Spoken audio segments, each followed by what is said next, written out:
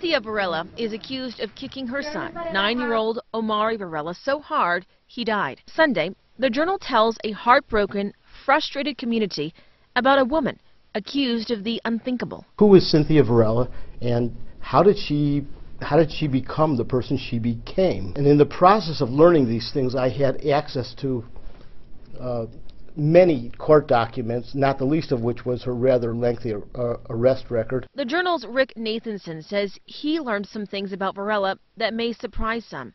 He spoke to Varela's stepmother. Synthia apparently grew up in a middle-class neighborhood in Albuquerque. Her parents, her father and her stepmother, were both professionals. The family had a chance to live and work overseas. Synthia and her older sister were able to um, not only live and experience another culture, but they were also able to uh, to travel around and see the Middle East, Europe, parts of Asia. But the problems reportedly started as Varela got older. The young woman had a willful and rebellious spirit. By the time she was 15, she was a runaway.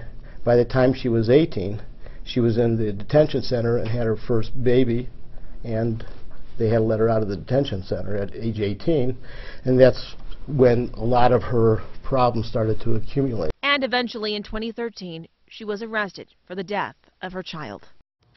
To read more, pick up a copy of Sunday's Albuquerque Journal.